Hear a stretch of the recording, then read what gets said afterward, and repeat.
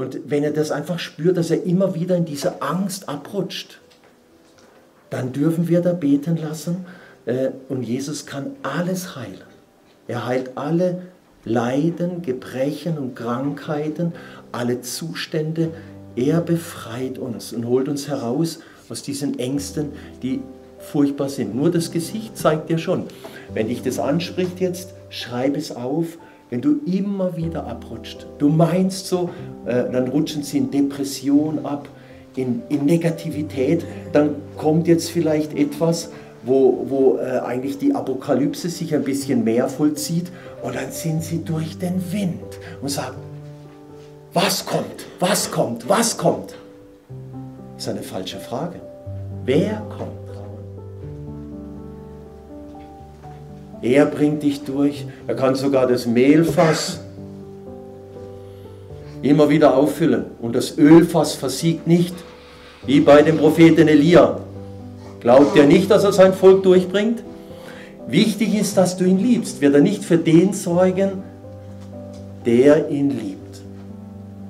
Und dann kommt man ein bisschen runter von den ganzen Ängsten. Es ist wirklich teilweise ganz schön äh, bedrückend, wenn wir das immer mehr äh, gerade in den Gesprächen mitbekommen, dass diese Angst so dominant ist. Dann die Angst vor der Krankheit. Manche sind ja durch den Wind von den Krankheiten.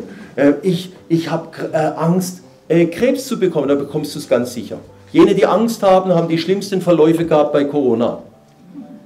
Und wenn du Angst hast, jetzt bekomme ich Krebs, jetzt äh, äh, versagt mir im Körper irgendwas und meine Mama hat auch Krebs gehabt oder ist früh gestorben und ich habe auch noch Angst. Ich bin gefangen, versteht ihr? Gefangen von all dem Zeug. Sagt, deine Stunde ist von Gott vorherbestimmt und so lange leben wir. Und dann gehen wir einfach. Oder willst du ewig da bleiben?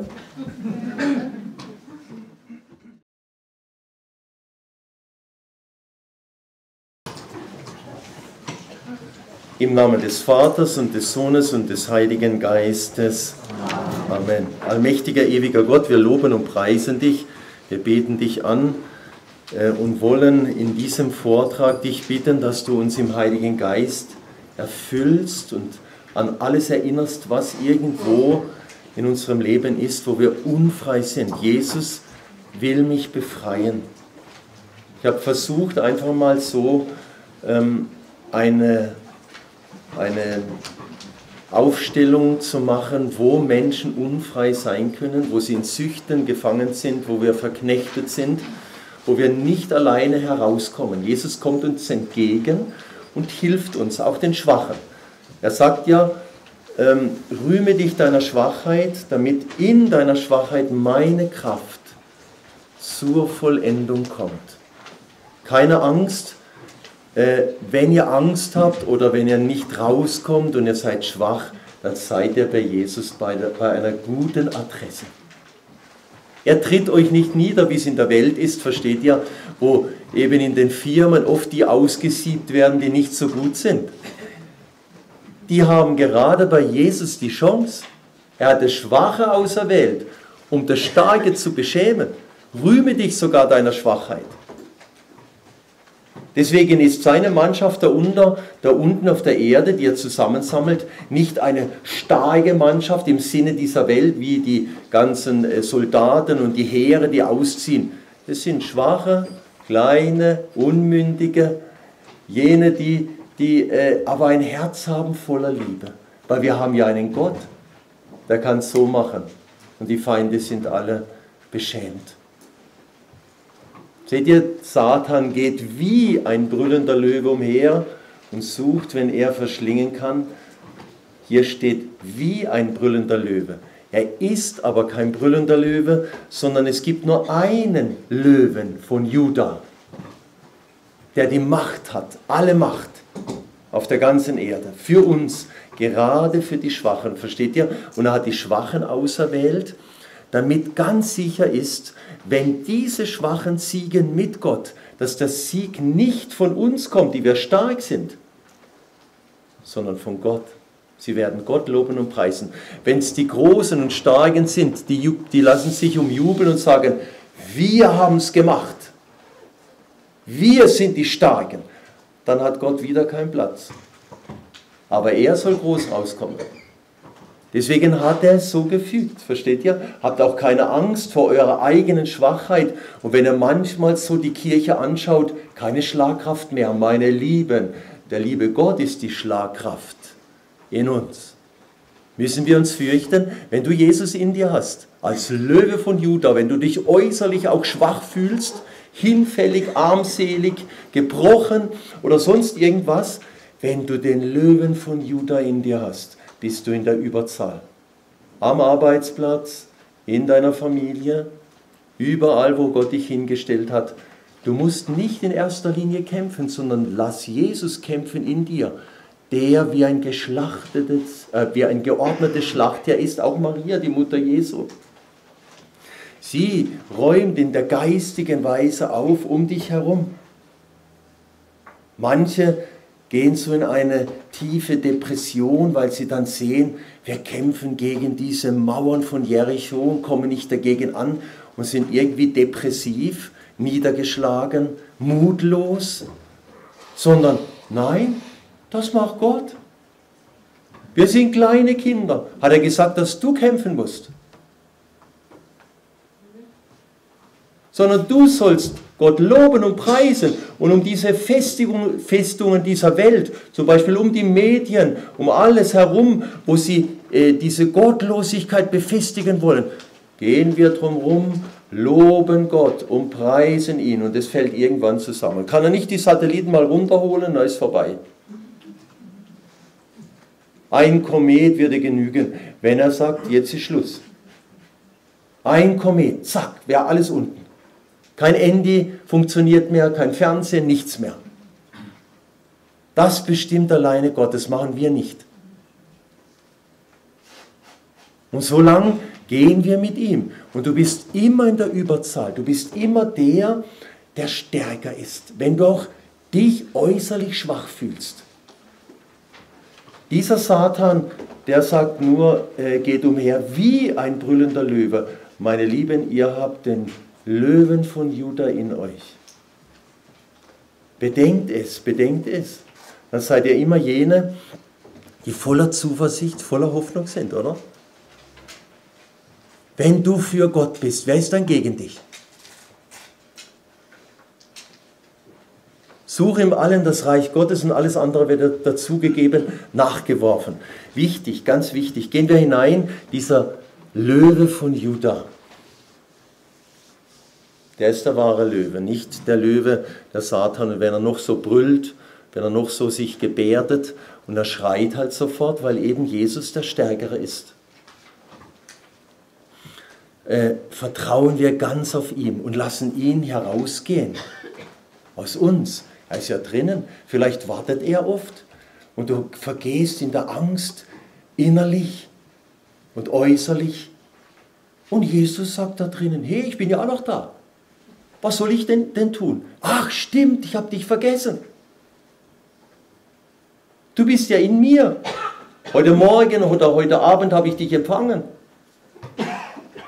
Lassen wir ihn mal heraus. Haben schon manche ausprobiert, dann ist er herausgekommen. Ich habe es selbst ausprobiert. Äh, und sagt, Herr, ich komme da nicht mehr dagegen an. Es ist jetzt so eine Umklammerung um mich herum und ich schaff's nicht. Komm doch heraus und räum mal auf. Zack, ist er heraus. Ja, sonst bist du in der Schwachheit, du kommst nicht raus. Sag, Herr, räume auf. Hast du so schon gebetet? Hast du es schon so gemacht? Im geistlichen Leben? Wir Priester sind oft und auch äh, in den Segensdiensten oder so, in dieser Bedrängnis vielleicht. Und dann sagen wir, Herr, du bist es kommt er dann nicht groß heraus. Und wenn wir dann sehen, wenn er aufräumt, wow, dann beginnst du zu loben und zu preisen, oder? Dann beginnst du zu loben und zu preisen. Er hat uns befreit. Er hat uns befreit, alleine. Wir könnten es nicht. Und das liebt er an den Gotteskindern, die alle schwach sind. Er braucht nicht stark sein, versteht ihr? Er braucht überhaupt nicht stark sein. Wir sind die absolut Schwächsten, die er äh, erwählt hat. Aber mit ihm sind wir stark. Mit ihm können wir alles. Ohne ihn können wir nichts. Aber mit ihm alles. Das ist unsere Stärke, versteht ihr? Deswegen, weil wir einen so großen Feind haben, hat Gott bewirkt aus sich, wie kann ich diese Schwachen stark machen? Ich komme in sie hinein. Dann brauchen sie sich nicht mehr fürchten. Wer mein Fleisch isst und mein Blut trinkt, der bleibt in mir und ich bleibe in ihm. Oder wer mich liebt, zu dem wird mein Vater und ich kommen. Wir werden bei ihm Wohnung nehmen. Stellt euch mal vor, der dreifaltige Gott, der Himmel und Erde erschaffen hat, wie wir beten, wenn wir Segnungen machen. Unsere Hilfe ist im Namen des Herrn, der Himmel und Erde erschaffen hat. Ja, haben die da draußen, die Großen, die Mächtigen, irgendwas erschaffen? Merkt ihr, das beten wir, aber wir sind uns nicht mehr bewusst, dass er da drinnen ist. Der dreifaltige Gott, meine Lieben, ihr liebt doch euren Gott. Seid ihr nicht Verliebte in Gott? Ich auch. Und ich liebe meinen Gott, den Vater, den Sohn, den Heiligen Geist, der in mir Wohnung genommen hat. Aber dann ruf ihn auch, wenn es notwendig ist wenn du voll am Anschlag bist, das liebt er. Und dann beginnt er in dir. In der Familie, am Arbeitsplatz, äh, in der Beziehung und überall, wo du stehst und manchmal dich so schwach vorkommst wie nur was. Herr, steh auf. Maria, steh auf. Du Mutter Jesu, die auch in uns, die immer mit dem Herrn vereint ist, auch in uns, dass wir geradezu sagen können, du Löwin von Judah, steh auf ist auch eine Löwin. Und wie? Und ihr wisst, äh, wenn die Kinder bedroht werden, dann ist es so, dass der Löwe nicht mal gegen die Löwin ankommt. Und die Mutter kämpft. Und ihr seid alle Kinder Mariens. Und lasst auch mal jene aufstehen, die wie ein geordnetes Schlachtherr ist in euch, die alles niederringt und die der Schlange den Kopf zertritt. Ich glaube, das ist ein Geheimnis, das wird viel zu wenig bedacht. Und dann wird rumgejammert, ich werde so bedrängt und alles Mögliche. Ja, wen hast du in dir? Da denken wir manchmal nicht dran. Und Jesus sitzt da drin im Gefängnis und sagt, hey, ich bin ja auch noch da. Maria ist auch noch da. Deine Mutter. Das ist etwas ganz Kindliches, versteht ihr? wo wir ein ganz tiefes Vertrauen zu Gott haben dürfen. Und deswegen, weil der Feind so groß ist um uns herum, hat er gesagt, ich gehe in sie, ich erwähle sie zum Tempel und ich werde in diesem Tempel Wohnung nehmen. Ich finde das genial. Wisst ihr, das müssen wir so euch erklären, wir Theologen, äh, weil ich, ich versuche einfach zu fragen, Herr, warum machst du das überhaupt, dass du in uns hineinkommst? Wisst ihr, der Satan will auch in euch hinein. Im schlimmsten Fall bis zur Besessenheit. Aber es ist eine Besetzung.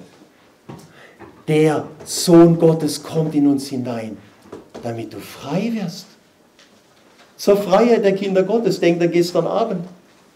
Der Satan wird in dich hineinkommen, um dich zu besetzen und dich zu knechten und dich zu benutzen. Wenn man sündigt, wenn man die Türen aufmacht. Aber das sollst du nicht. Deswegen hat Gott das gewählt. Er will in uns hinein. Und er ist in uns. Sei dir das ganz tief bewusst. Das ist etwas Entscheidendes. Du bist immer in der Überzahl. Aber mache Raum in dir für Gott. Mache Raum für Maria in dir.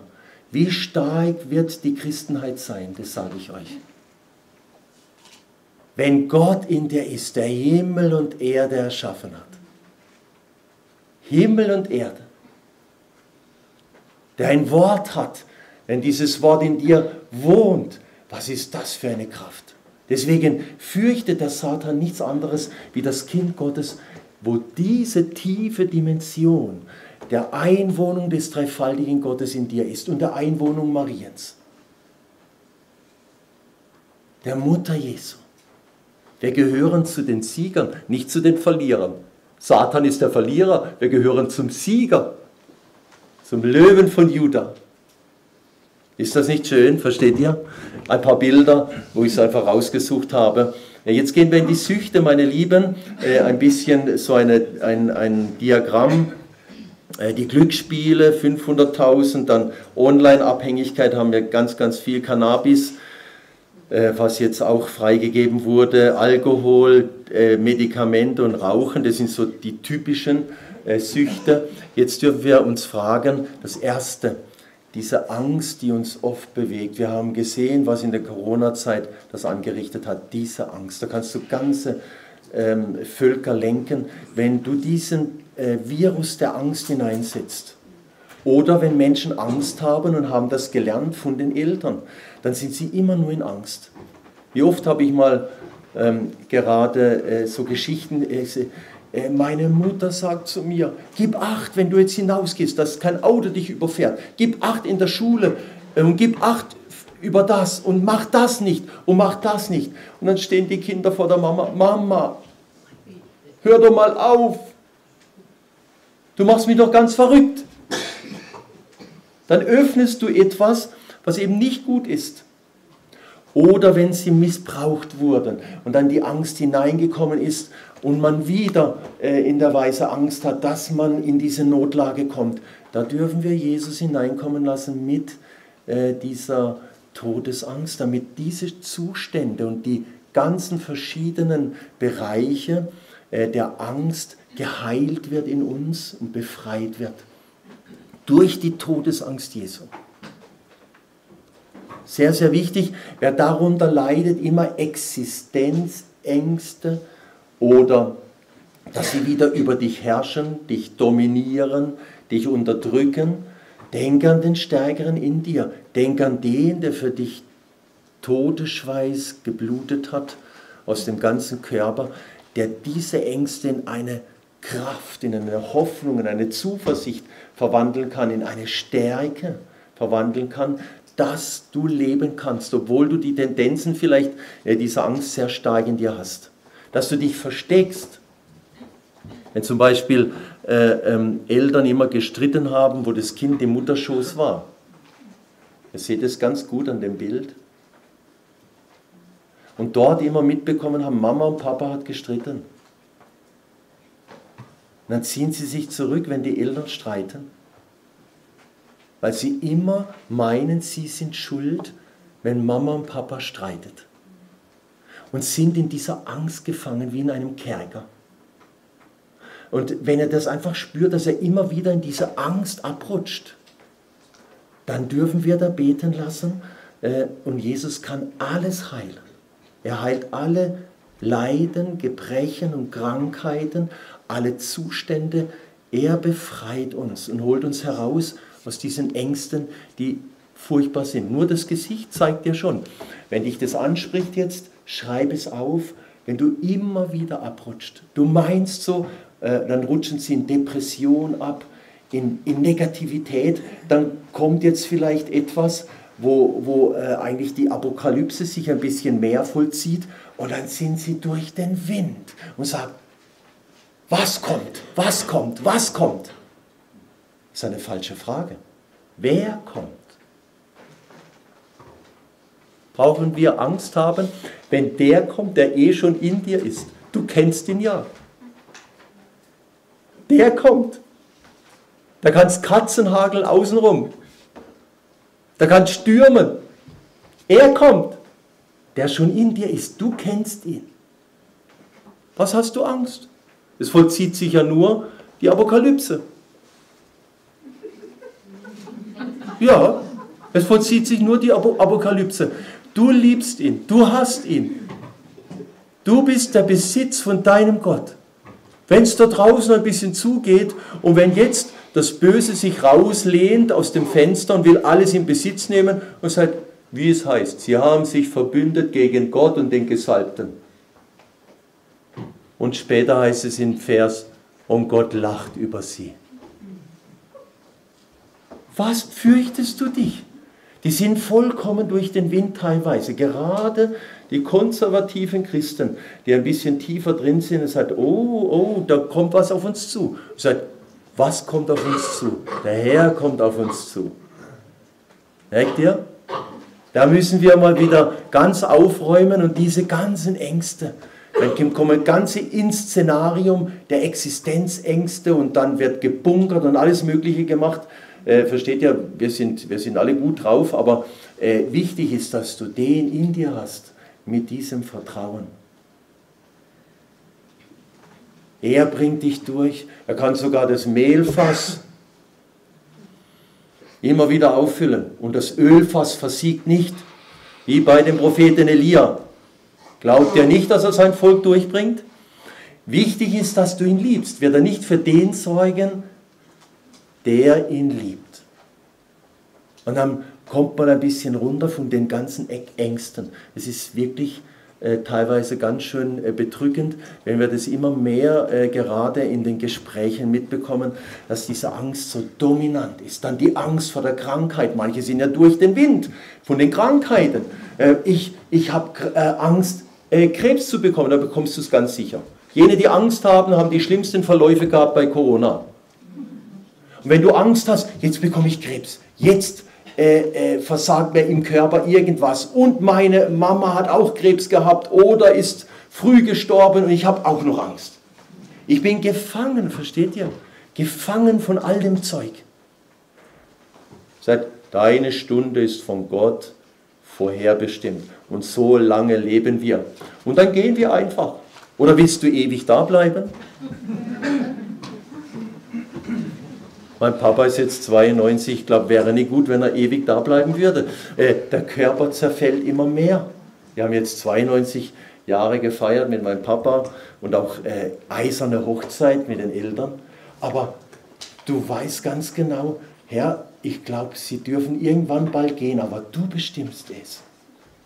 Wir bleiben doch nicht ewig hier. Und, und einfach so in einer Zuversicht, Herr, du wirst den richtigen Tag aussuchen für mich. Ich lobe und preise dich dafür. Und in dieser Zeit arbeite ich für dich. In dieser Zeit bin ich Christ. In dieser Zeit liebe ich dich. Und ich bin nicht beherrscht von der Angst und ich folge nicht meiner Angst und meiner Befürchtung, meiner Sorge nach. Wisst ihr, was in der Heiligen Schrift steht? Was du befürchtest, das kommt über dich. Und wie viele sind sind darin äh, befangen, hört zu, wenn ihr befürchtet, hört ihr auf den Satan. Und er gebt den glaubenden Satan, dass das Negative über dich kommt. Wem glaubst du? Glaubst du Gott? Das ist ein ganz wichtiger Satz in dem Bereich. Was du befürchtest, kommt über dich. Du gibst Satan die Macht, das Negative über dich zu bringen, weil du es befürchtest und glaubst es mehr, wie dass dein Gott das Gute für dich bestimmt hat. Der nächste Teilsatz heißt, was du erhoffst, das wird dir zuteil werden. Glauben wir doch das. Beginnen dann zu sagen, Herr, ich danke dir, dass es gut ausgeht. Ja, schau mal, genau die, die Exerzitien, da ist dann am Anfang ein bisschen so eine, eine kleine Nervosität und so, geht das alles gut und so weiter. Und dann sage ich jetzt immer, Herr, es geht gut. Die Vorträge gehen gut, die Segensdienste gehen gut, alle gehen gut miteinander um. Wir werden ein tolles äh, Klima haben zusammen. Ich danke dir und lobe dich und preise dich. Fällt alles weg. Ich habe es mal erlebt in der Schweiz. Da war in Zürich, vor einmal fängt das Lobpreisteam mit dem hiesigen Kaplan an zu streiten vor mir. Und ich dachte mir, was ist jetzt los? Hey, was machen wir jetzt? Da bin ich ganz ruhig hingestanden. Herr, ich lobe und preise dich, dass du das jetzt in den Griff bekommst und du äh, fegst jetzt die Wolken weg. Und nach fünf Minuten, ich war einfach da gestanden, habe das gebetet im Stillen. Wie? Wie ein Beschuss. Und auf einmal haben sie alle gelacht. Ich gesagt, oh je, jetzt fängt es doch an. Mensch, jetzt streiten die noch. Aber was wird das für ein Laden werden? Dann hat das Satan Macht. weil du es glaubst, dass das Negative über dich kommt. Merkt euch das gut. Das nimmt euch Jesus nicht ab. Ihr habt einen freien Willen, den einzusetzen und zu sagen, es wird gut. Das ist genauso, wenn eine Frau keine Kinder bekommt und sie dann immer sagt, ja, ich werde halt nicht schwanger, ich werde halt nicht schwanger, ich werde halt nicht schwanger. Und, hier, und, und so weiter. Und sagt, Herr, ich danke dir, dass ich schwanger werde und dass ich danke dir, dass meine Mutterschuss bereitet wird und es wird gut gehen. Ja, dann kommt es. Was du erhoffst, das wird dir zuteil. Großartig. Das kannst du in alle Bereiche, versteht ihr, ich kann nicht alles jetzt nennen, äh, anwenden. Und merkt euch das, was du befürchtest, das kommt über dich. Und was du erhoffst, das wird dir zuteil. Sonst hängst du in diesen dunklen Schatten. Todesschatten und dunklen Schatten. Wir haben einen Gott, in dem wir Zuversicht und Hoffnung haben dürfen. Nicht einen Geist der Verzagtheit und der Angst, sondern ein Geist, in dem wir rufen, Abba Vater, der für uns sorgt. Ja, Vater, hast du was auf der Pfanne, oder? Wenn deine Kinder zu Hause kommen, Papa, Papa und so weiter. Du kannst doch das. Und ich was? Meine Kinder denken von mir, ich kann das. Jetzt muss ich was springen lassen, oder? Wenn sie vor dich stehen und sagen, Papa, oh mein kleiner, äh, äh, äh, kleiner Bobby Car ist kaputt. Papa, du kannst es reparieren. Dann macht der Papa das. Wenn du glaubst, dass sie wieder spielen können. Und so müssen wir zu Gott sein. Und wie sehr tun wir oft die Türen öffnen für den Bösen, indem wir ständig befürchten. Immer nur. Denke mal an deine Gedanken, was da äh, alles losgeht. Und komm von dem weg. Ja, dann hängst du so rum, sogar die, die Kinder, dann kommen sie nicht mehr raus. Und dann ziehst du das das ganze Leben mit. Und dann kommt es ganz sicher über dich. Manchmal sind auch Flüche auf den Menschen, Festsetzung, Fixierung oder es wirken die Worte. Es geht ja eh alles schief. Es, es wird immer so kommen. Mach das Zeug weg. Das sind Lügen, die auf deiner Festplatte abgespeichert sind. Die bewirken immer wieder, dass das Negative eintrifft. Wenn du diese Festsetzung fixieren, lügen, du kannst nichts, du taugst nichts, du bist nichts, bei dir geht eh alles schief, bei dir kommt nie was raus, du hättest am besten nicht auf der Welt sein sollen. Wenn diese Worte auf dir drauf sind, und du sie nicht entlarvst als Lüge. Denn du bist in dieser Welt, damit du ein Leben lebst und es in Fülle hast. Ja? Bin gekommen, dass sie das Leben haben und es in Fülle haben. Und wir nehmen diese Fülle in Anspruch und wir leben nicht in diesem Schattendasein, in dieser Dunkelheit, in dieser Befürchtung und Ängste, sondern einen Geist der Freiheit, versteht ihr?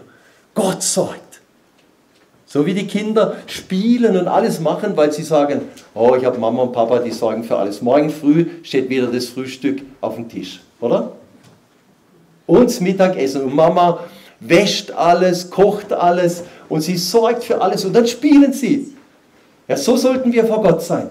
Wenn ihr nicht werdet wie die Kinder, könnt ihr nicht in das Himmelreich kommen. Rennen die Kinder ständig rum und sagen, oh, heute wird es wieder ein schlechter Tag. Die springen hinaus wenn sie Schnee sehen oder wird gespielt und mit dem Schlitten gefahren. Sie sind voller Freude. Die Eltern sagen, wenn sie so springen, dann sind sie gesund. Und wenn sie in einer Ecke sitzen, voller Angst, dann sind sie krank. Da mach du das Gleiche, weil wir einen Vater haben, der alle Väter übersteigt. Alle. Und da hängen wir drin und dann geben wir oft Satan die Macht dass er das Negative über uns bringt, weil unser Glaube so gering ist. Versteht ihr? Und dann kommst du, dann können wir beten stundenlang, nächtelang. Wir kommen nicht raus, wenn du das Zeug nicht aus dir rausholst. Und wenn du es nicht äh, Gott gibst und sagst, hey, da glaube ich mehr diesen Befürchtungen, ich glaube mehr Satan wie Gott, der für mich sorgt als Vater. Vielleicht hast du es auch reingeprügelt und reingebrannt bekommen und die Worte äh, drinnen auf die Festplatte abgespeichert, versteht ihr? Aber dann lokalisiere sie und der Herr löscht es aus. Er macht eine Firewall dir rein, er macht ein Virenprogramm und haut das Zeug raus auf einen Spam-Ordner und löscht es. Im Sakrament, in der Segnung, diese Worte und diese Lügen werden gelöscht. Und jetzt kommt eine neue Programmierung deiner Festplatte, eine neue Software und Hardware. Ha. Ja? Und dann läuft das Ding wieder wunderbar. Okay, geh da hinaus, weil Jesus will dich da rausholen aus diesen Dingen.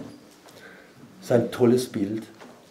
Im Kreuz kommt er da, wo sie in Finsternis sitzen und in Schatten des Todes. Entschuldigung, dass es nicht so gut aufgelöst ist, aber ähm, äh, ich habe nichts anderes gefunden. Aber ich will es euch doch zeigen. Ihr seht, wenn er durchbricht diese Mauern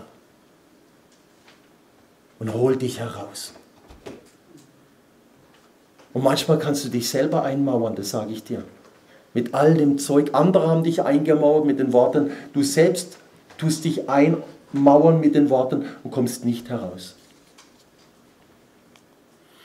Ja, dass der Böse Überhand gewinnt. Versteht ihr? Dass der Böse Überhand gewinnt und kommst nicht mehr raus.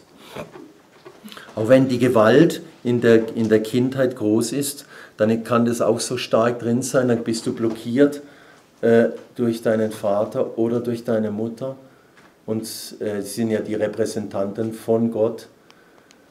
Dann landest du in dieser Depression, dieser Angst und in diesem Selbstmitleid manchmal, aber das ist der Nährboden von allen möglichen Viren, Untugenden und allem Möglichen, äh, was da kommen kann dann willst du nicht mehr leben. Manchmal sind sie dem Tode mehr nahe wie dem Leben, aber wir sind für das Leben bestimmt. Nehmen wir das an. Lassen wir uns befreien in dieses Leben, das Gott uns schenkt. Er ist das Leben.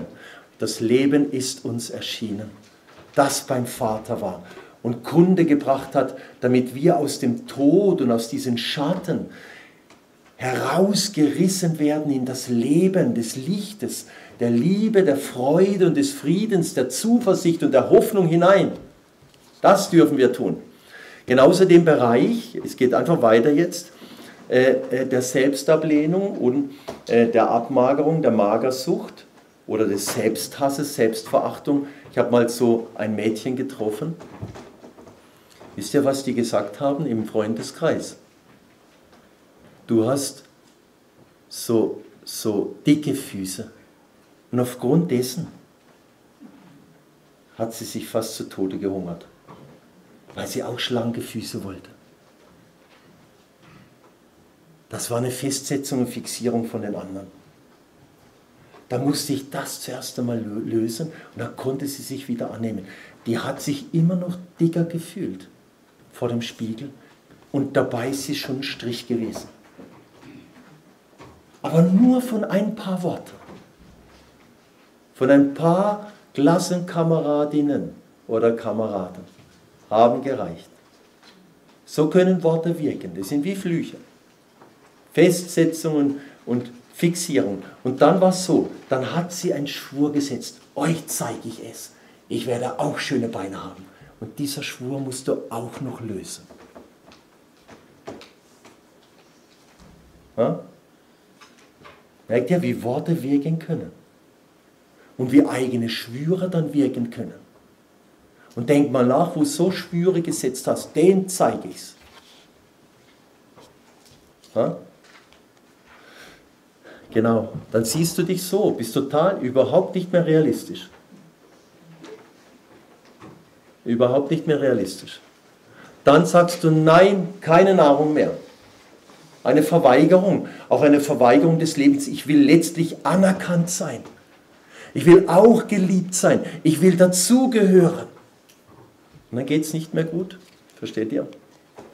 Oder es gibt ein Erbrechen, dann äh, essen sie und essen sie und essen sie und wollen die Liebe so hinein essen.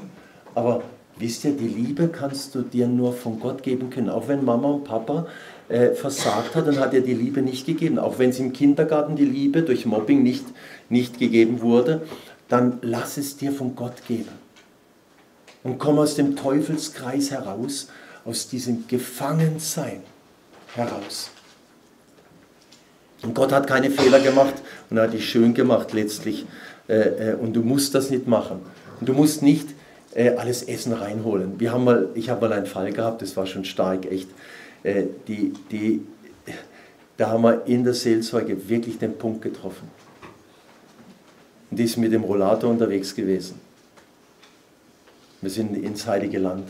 Da kam sie mit dem Teller an, so wie heute, äh, Frühstücksbuffet, so ein kulinarisches Angebot.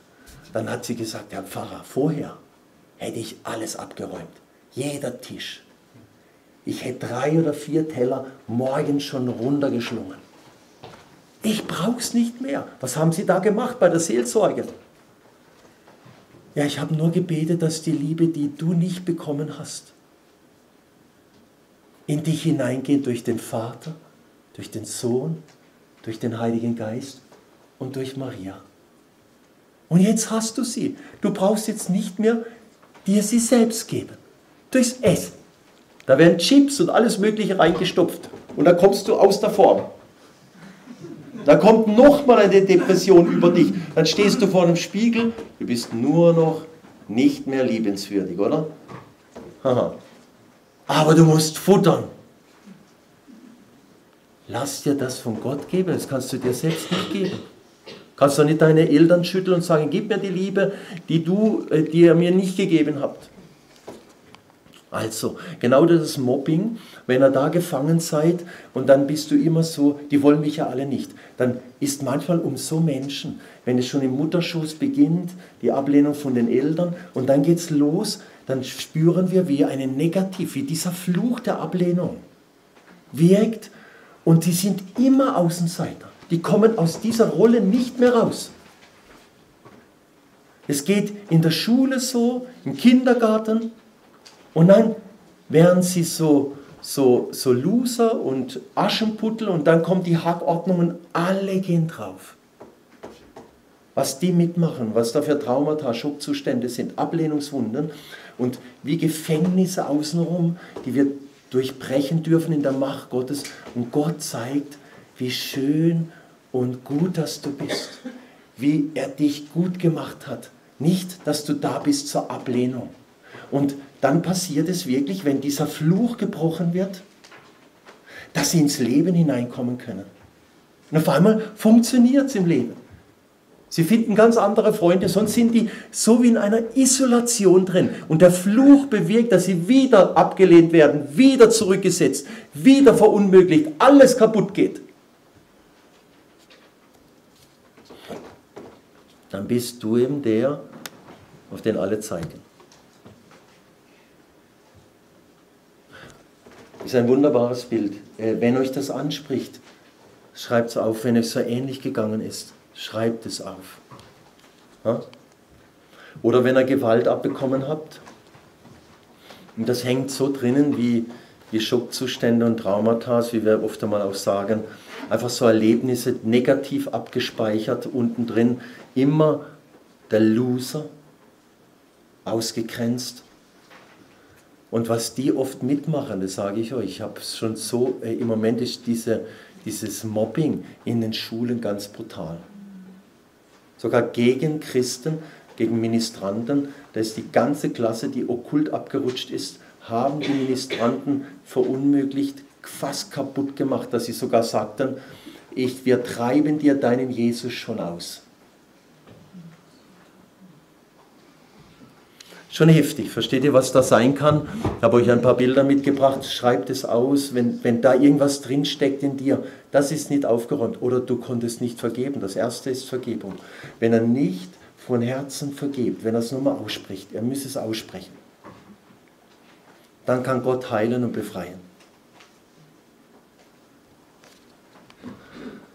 ja, diese Ausgrenzung, weil jeder will irgendwie dazugehören. Wir sind, wir sind doch so gestrickt. Wir sind in der Sozialisation. Äh, wir wollen auch dazugehören. Aber jetzt haben wir eine neue Familie durch Gott, wenn sie euch auch nicht wollen. Wir haben eine Familie, wo wir dazugehören.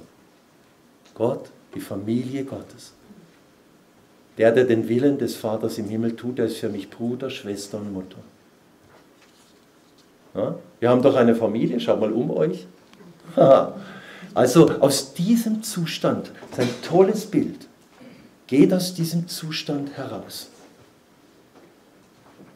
Wenn ihr euch so fühlt und wenn sowas in euch ist, gebt es ab.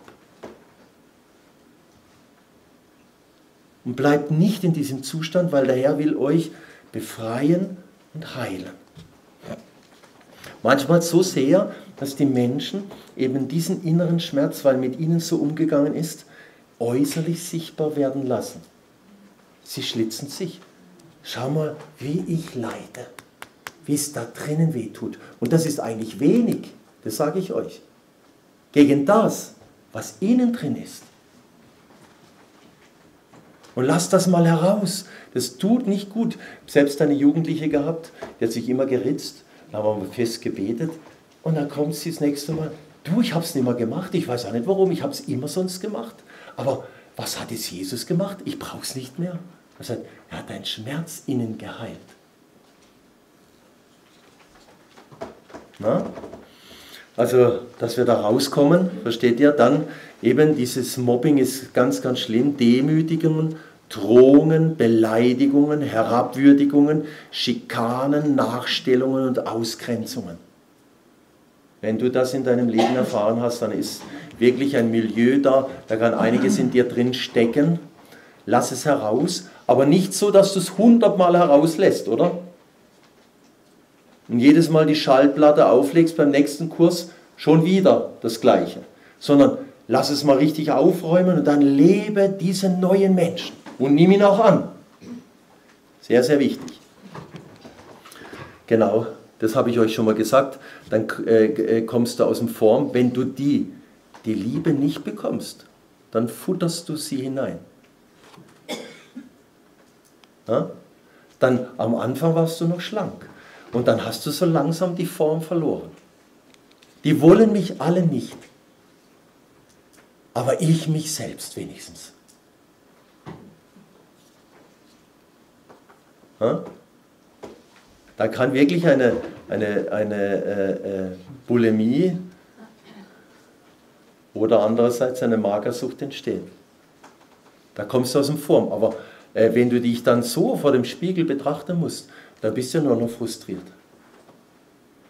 Du darfst auch auf dich schauen.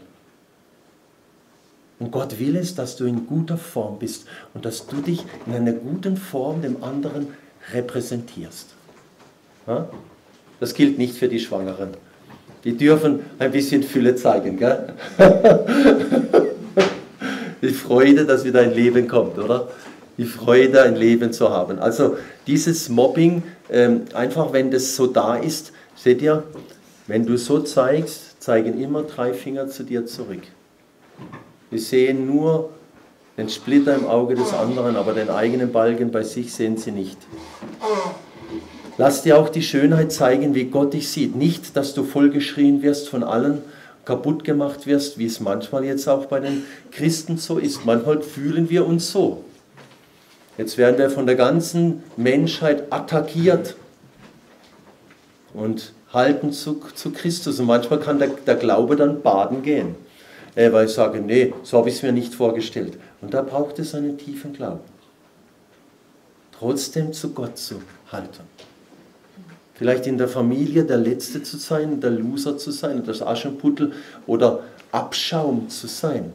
Und trotzdem, ich weiß, ich habe meinen Gott. Ich sehe ihre Taten, ich sehe, was sie machen und es kann unmöglich gut gehen.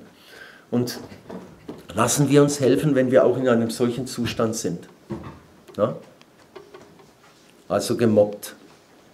Dann äh, ein weiterer Punkt, es wird wenig aufgeräumt, die, die, ähm, die, äh, die Rockmusik, das nennt man auch Backward Masking. Dann hat man einen Rock im Rückwärtsgang gemacht, drauf auf die Platten äh, und da sind Botschaften drauf und die gehen auch hinein, da haben wir ganze Revolutionen, die 68er, ins Leben gerufen durch dieses Backward Masking und das un, unbewusst in die Seelen hineinkommt. Die Lanesa-Eiswerbung, wo man dazwischen äh, das gemacht hat, äh, und, ähm, und äh, so Lanese-Eiswerbung, ohne dass es das Auge sieht, das hat man verboten. Das hat man verboten, weil dann die, die Kasse geklingelt hat und in den Pausen, in den Kinos, äh, haben sie nur Lanese-Eis gekauft, weil sie diese, diesen Geschmack durch das Unterbewusstsein äh, mitbekommen haben und dann haben alle Lust auf Eis gehabt. Das hat man verboten, aber das Backward Masking, dieses Ruck im Rückwärtsgang, wo dann zum Beispiel äh, äh, Satan ist Gott oder äh, ihr dürft jetzt äh, alle die sexuelle Revolution leben äh, oder ihr müsst euch gegen jede Autorität auflehnen. Äh, das hat man hineingestreut und das kommt in die Seelen der Jungen hinein. Das finde ich Wahnsinn, dass man die Jungen so manipuliert. Merkt ihr wieder, der Satan macht das so im Ding. Dass du, wenn du auch mal ganz drin gehangen bist in der Hardrock und äh, in, sogar im Softrock, die, die ganzen äh, Supertramp, Simon Carfunkel und so weiter, Beatles haben mit ihm gearbeitet, alle haben gearbeitet. Da kommt keiner hoch, der nicht in der Weise ähm, da äh, äh, mitarbeitet und der Satan lässt keiner hochkommen, wenn sie das nicht machen. Und das machen sie auch heute noch. Lass doch mal dafür beten, wenn da ein Zeug noch drin ist und du hast vorher äh, so viel da rein gemüllt. Lass es mal rausholen und sag, ja, ich widersage dem. Ich habe das bei mir bemerkt, ich habe auch so, so, so ein bisschen, äh, in der Jugend haben wir so gemacht, äh, ein bisschen Rock gehört oder sonst irgendwas. Äh, das erste, wo ich mich bekehrt habe, war das, dass ich es nicht mehr hören konnte. Ich konnte es nicht mehr hören. Da hat Gott wie was abgeschnitten. Es tat meiner Seele nicht gut. Da in diesem Buch ist es sehr, sehr gut beschrieben, wie ein so für Junge auch ein, äh, ein Roman, wo das beschrieben ist, wie die arbeiten auch. Dann die Fernsehsucht, etwas ganz Wichtiges, ihr seht, die Manipulation, wo ich gestern auch gesagt habe, in dich hinein, wenn du vor dem Karch oder vor dem, vor dem Fernsehen immer loskommst. Du wirst manipuliert. Ich würde lieber ein Wort Gottes lesen, äh, bevor ich mich diesem aussetze, wo, wo, wo wirklich so viel geschehen kann. Dann sind wir nur noch äh, da drin und sind voll von dem ganzen Zeug.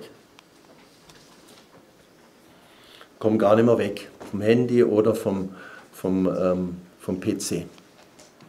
Auch die Handysucht in der heutigen Zeit, das ist wirklich äh, ganz, ganz schlimm. Äh, dass man gar nicht mehr wegkommt. Da sind sie stundenlang und zucken rum und kommen gar nicht mehr weg. Sie laufen da nur noch so rum und sehen den nächsten nicht mehr. Tolle Bilder. Manche laufen sogar gegen eine, einen, einen äh, Laternenpfahl und merken, bumm, jetzt bin ich wieder da oder versteht ihr? Selbst die Kinder kommen nicht mehr weg. Da müssen wir mal ganz viel anbeten oder auch Gott dahin bringen. Wir versuchen es jetzt auch durch, durch die YouTube-Kanäle, dass sie wenigstens noch was hören. Das ist echt eine gewaltige Verführung. Ja, wie ich auch gesagt habe, das ist das Standbild des Tieres, das wir anbeten. Wie lange ist ein Deutscher, ich weiß jetzt von Deutschland, dreieinhalb Stunden im Durchschnitt täglich vor dem Fernsehen? Und dann noch PC dazu. Wie lang beten wir? Wie lang gehen wir vor den Tabernakel? Wie lang sind wir äh, vor der Heiligen Schrift? Wir müssen da raus, um wieder Gott kennenzulernen. Dann geht es nämlich so, dann nimmt man den, den, Kindern das weg, aber das ist wie ein Heiligtum. Das ist wie ein Götze. Ja? Dann die Äußerlichkeit, äh, äh, äh die Ich-Sucht, das, das Selbst in sich verliebt sein, der ganze Narzissmus, äh, wo, wo im Grunde Gott nicht mehr Platz hat. Du bist voll von dir und du findest dich toll. Wow. Ja? Du findest dich gut. Und das ist eine Gesellschaft, die genau so erzogen wird, voll von sich, aber da hat Gott nicht mehr Platz. Du bist ein kleiner Götze, du bist ein kleiner ähm, Mensch, der sich anbetet selbst. Ha, klasse. Oder das. Die Frauen auch. Da sind sie selbst in sich verliebt. Ich liebe mich. Es hat nichts zu tun, meiner Liebe, mit, äh, äh, mit der guten Selbstliebe, wo wir uns selbst lieben, weil Gott uns liebt. Nein, hier kommt Gott nicht mehr vor. Dann bist du dir selbst ein kleiner Gott. Du liebst dich. Nur um deiner selbst willen. Aber das ist Egoismus, versteht ihr? Da, da geht gar nichts mehr. Ja? Ha. Gell? Jawohl, jetzt geht die Dinger mal runter, dass wir ein bisschen die Bilder besser sehen. Ihr wollt sehen, gell? Äh, wunderbar. Also da müssen wir Acht geben. Oder so, versteht ihr, das ist ein tolles Bild. Er sieht sein Abbild im Wasser und er ist verliebt. Ja? Wunderbar. Jetzt müssen wir noch Acht geben auf die Mutter Gottes, gell? dass sie nicht mitgenommen wird. Könnte mal jemand hingehen, dass nicht an der Mutter Gottes hängen bleibt. Schön. Also gehen wir weiter, die Spielsucht. Wer da drin in der Weise irgendwo äh, behaftet ist, manchmal zocken sie rum ohne Ende und kommen nicht mehr raus. Verzocken alles und hören gar nicht mehr auf. Dieser Bereich kann manchmal sehr, sehr stark sein. Wir sind wirklich in Süchten gefangen, unfrei und der Herr will uns befreien, dass das abgetrennt wird. Durch Jesus befreit von der Pornografie. Ich gesagt habe, wenn das da oben drin steckt und und äh, sie kommen nicht mehr weg. Ganz besonders die Männer, aber heutzutage auch die Frauen. Das Unreine ist so stark, ich würde sagen, das Stärkste im Menschen. Wenn er da gefangen ist, dann ist er richtig in dieser Sucht, in dieser Knechtschaft des Satans befangen, in der Selbstbefriedigung, in diesen Bildern und da kommt es ständig hoch. Und da dürfen wir Gott dieses Blut der Kleiderentblößung, das Blut der Beschneidung und die Reinheit, Keuschheit und Freudigkeit Mariens, dass das alles weggeht. Auch gestern Abend habe ich euch gesagt, dass die sexuellen Beziehungen, wo man mal reingerutscht ist, abgetrennt werden an Leib, Seele und Geist. Dass man da frei wird. Das, was so im Unterbewussten hochkommt, an unreinen Träumen und allem Möglichen, und du merkst, hey, da bist du nicht weg. Und wenn du auch im Innerlichen, selbst wenn du verheiratet bist, doch noch denkst, ach, wenn so eine gute Gelegenheit kommen würde, ich bin kein Kostverächter. Ich nehme das mit. Das ist genauso, wenn wir Priester in der Weise ähm, jetzt Ja gesagt haben zum Zölibat, aber innen drin sind wir ständig, Mensch, es wäre doch noch gut, dass wir verheiratet wären. Aber wir wissen ja, wie schwer das ist in der Ehe, oder? Da musst du berufen sein, so wie wir berufen sind, so wie ihr berufen seid und es zu tragen zu können. Ja? Wichtig. Und dass du aufräumst und denn wer die Hand an den Flug legt und zurückschaut ständig, ach, das wäre doch gut verheiratet zu sein. Oder ich würde doch lieber ins Kloster gehen, wenn ich verheiratet bin, dann hätte ich meine Ruhe. Hey, mach mal klar schief. Trennt es auch ab. Nein, ich habe die Hand an den Flug gelegt und ich bleibe dabei. Und nicht ständig, hätte ich doch nicht geheiratet, hätte ich doch nicht oder sonst irgendwas. Das lähmt dich bis ins Mark. Du revidierst deine eigene Entscheidung. Und dann bist du wie eine halbe Portion. Du hast kein Rückgrat mehr, du hast keine Kraft mehr und du tust ständig Jesus schwach machen in dir und du kannst nicht aus der Fülle deiner Sendung und deiner Identität, die du von Gott bekommen hast, leben. Da wären wir nichts, wir Priester wären keine Schlagkraft, wenn wir nicht sagen, Herr, manchmal, wisst ihr, im Kloster Brandenburg ist mal jemand gekommen, auch eine so im mittleren Alter, weil ich auch im mittleren Alter bin, äh, und die wollte mit mir eine Beziehung eingehen. Gell? Die hat die, die, die, den ganzen Kurs gelähmt. Und dann saß sie sogar noch auf meinem Platz. Da steht hier beim Frühstück, dann bin ich mit meinem Teller auf mein Zimmer gegangen und habe mein Frühstück eingenommen, habe angerufen mit dem, mit dem, äh, mit dem äh, Telefon, führt diese Frau ab, die kriegt jetzt Hausverbot. Dann haben sie sie abgeführt. Zwei Klosterschwestern haben sie abgeführt. Und ich sag's euch, innerlich habe ich eine Reaktion verspürt. Ab dort, ab dieser Entscheidung habe ich eine Kraft bekommen, mein Zölibat besser zu, zu leben. Weil ich mich entschieden habe. Wie auch Thomas von Aquin, äh, äh, sie haben ihn, wollten ihn hindern, dass er, dass er ins Kloster geht, haben eine, eine Dirne zu ihm geschickt. Und in diesem Raum, wo er war, war ein offenes Kamin, da war ein Feuerhaken. Dann ist er mit dem Feuerhaken der Dirne nach sie verjagt. Und dann hatte er in dem Moment nie mehr eine Versuchung gehabt gegenüber einer Frau. Deswegen konnte er so tief in das Reich Gottes, in, die, in alles eindringen. Also nehmt das weg, sondern da kommt der Löwe von, ja, das ist dann der brüllende Löwe, der dann kommt, wenn die Männer davor sitzen. Der kommt an. Ist ein wunderbares Bild, dann kommt er an, aber dann, dann macht er dich kaputt, dann demontiert er dich, wenn du vor diesem unreinen Zeug sitzt und dich in eine Unfreiheit hinein, da betest du den Sex, da betest du den Körper der Frau an, da betest du den, den Körper des Mannes an, da betest du an den Sexgott. Diese unreinen Geister, wir müssen es klar benennen, äh, da betest du das an. Bete Gott an. Da weißt du, wer dich in, in die Unreinheit äh, führt und, und dich beherrscht und versklavt. Dass dieses Kopfkino da oben weggeht und du nicht mehr auf diese Taste drückst. Sex. Das ist dein Gott. Haben vorwiegend die Männer. Und du weißt, wenn du das tust, ihr Männer oder ihr Frauen, ihr beschmutzt die ganze Ehe. All die Ehen gehen meistens auseinander, wenn die Männer da drin sind. Der Satan kann euch demontieren, weil es eine Ehebruch ist. Wer eine Frau nur lüstern anschaut, hat im Herzen schon Ehebruch begangen. Sagt übrigens Gott nicht von den Frauen, sondern von den Männern, weil er die Schwachheit kennt. Ihr beschmutzt sie, bringt das hinein, dass das weggewaschen wird. Ihr beschmutzt die eigenen Kinder, ihr Männer. Und die Frauen. Und wir beschmutzen als Priester, wenn wir da drin hängen die ganze Gemeinde. Alle. Dann gehen wir noch unwürdig zum Altar und tun das Messopfer zelebrieren, ein Sakrileg und sind in der Todsünde. Das hat mit Liebe nichts zu tun. Und dann kommen vielleicht dadurch noch Abtreibungen oder sonst was.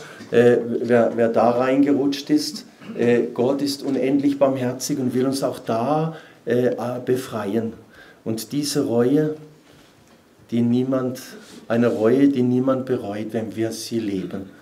Gott liebt, wenn die Menschen auch das alles bereuen, wenn wir das bereuen. Sei ganz offen.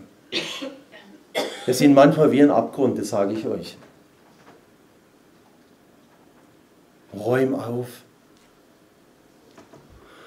und schreib's auf. Der ganze Bereich von den äh, Drogen, also ähm, Rauchen, Tabletten, Drogen, äh, Heroin, Kokain, LSD und äh, die ganzen äh, Medikamente, die du einnehmen willst, kenne mich da gar nicht so gut aus. Äh, wenn wir da drin sitzen, dann nimm es einfach hinein, dass es auch abgetrennt wird, weil durch das Zeug lagerst du etwas in deinen Leib ab und das ist nicht gut. Das darf auch mal abgetrennt werden. Viele sind weggekommen, äh, wenn wir gut gebetet haben, sie wollten umkehren. Von all dem Zeug, was drinnen ist.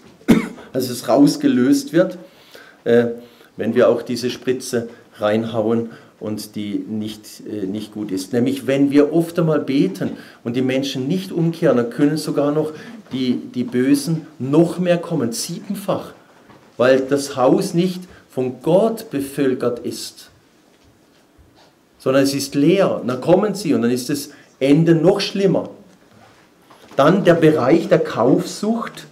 Ja, wunderbar, gell? das ist jetzt für die Frauen. Shoppen gehen. Alle Tüten in der Hand. Äh, der Kleiderschrank ist schon voll zum Brechen. Aber es ist einfach ein Kick, was Neues zu haben. Ich tue mir was Gutes. Ja? Wie oft habe ich das schon erlebt und die Männer, die gehen fast kaputt. Man sagt, hey, das Bankkonto ist leer ne? und der Schrank ist biegend, und es wird immer noch gekauft. Und dann kommt eben, ja, aber Mensch, wenn es um die Hälfte runtergesetzt ist, das kann ich mich, kann ich doch unmöglich mir durch die Lappen gehen lassen. Da muss ich doch hin und da muss ich greifen. Ja? Und ich muss mir was Gutes geben. Ja? So schafft äh, die ganze, und der halbe Preis. Das ist doch. Ja? Wie schön ist es, wenn du ein Habit hast, bist immer angezogen. Oder wir Priester mit dem Hemd oder die Ordensfrau mit dem Habit. Da sind wir schon angezogen. Wir brauchen das nicht mehr. Aber wir werden so erzogen. Von der ganzen Medienlandschaft und von der, von der ganzen Werbung werden wir so erzogen. Und dann stehst du da. Was soll ich anziehen? Merkt ihr? Und du machst ja alles für dich, anstatt mal ein paar Kleider wegzugeben in die Mission, dass die sich auch freuen, oder? Und äh, den Kleiderschrank ein bisschen zu entleeren und denen was zu geben, die nichts haben. Das wäre auch mal gut. Ja? Dann bist du gefrustet, weil es bringt dir nur kurzzeitig einen Kick. Geh mit Maria shoppen, sage ich als den Frauen. Die hat einen guten Geschmack und äh, bringt es voll auf den Punkt.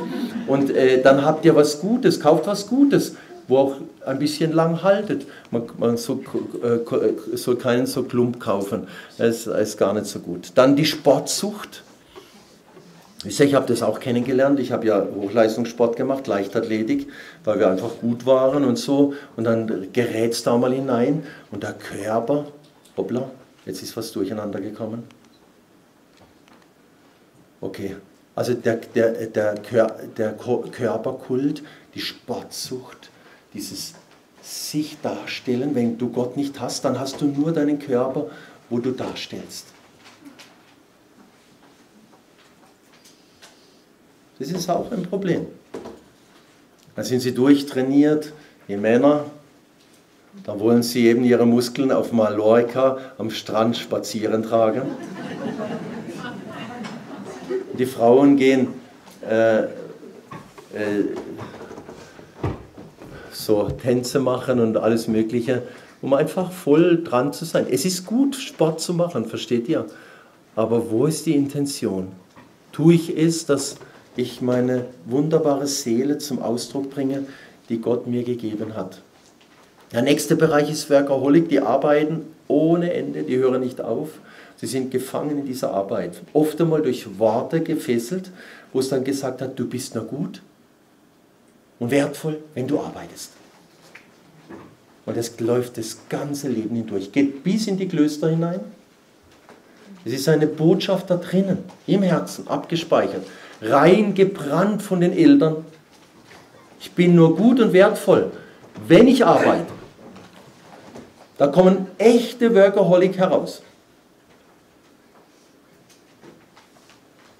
Ich brauche nicht äh, viel sagen. Wenn diese Botschaft in dir drin ist, lass sie zerbrechen. Du bist nicht wertvoll oder gut, weil du arbeitest. Du bist gut, weil du bist. In deiner Existenz, wie Gott dich gemacht hat mit deiner schönen Seele. Dann arbeiten sie, bis, sie, bis sie halber tot sind. Genau, da kommt ja oft einmal die, die ganze Habsucht heraus. Dann will man immer noch mehr und immer noch mehr und kommt nicht an ein Ende. Äh, lass dich befreien von all dem. Ach, das gehört eigentlich noch äh, zu dem anderen Bild. Das ist mir jetzt verrutscht, gell? Wenn es dann nur noch, hey. Versteht ihr? Ihr wisst, was ich sagen will. Da betest du dich selbst an. Dann ein ganz wichtiger Bereich, Bindungen, falsche Bindungen. Schau mal, da siehst du es auf einen Blick. Wenn auf einmal die Schwiegermutter hineinkommt und das Tau ziehend um den Sohn, die eigene Frau und die Schwiegermutter ausfechtet. Und der Sohn ist wie ein Mama-Kindchen. Ja? ja, genau, das Tauziehen, versteht ihr? Das ist wichtig, die, diese falschen Bindungen, die da sind, nimm sie weg, auch die Streitsucht. Und dann, wenn das Kind, wenn die Ehe auseinandergeht, alles äh, weggeht und die Ehe so langsam auseinanderbricht.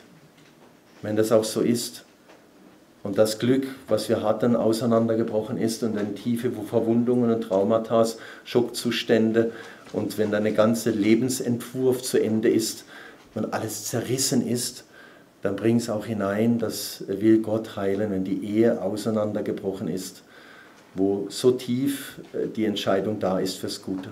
Wenn es dann im Alkohol landet, in der Verelendung, die Kinder darunter leiden unterm Alkohol, wenn du alles wegspülst, es geht nicht weg, die Alkoholsucht, ist auch ein wichtiges Bild, wo oft mal Hof und der ganze Besitz, die Kehle heruntergespült wird und das Satan alles zerstört mit diesem Alkohol.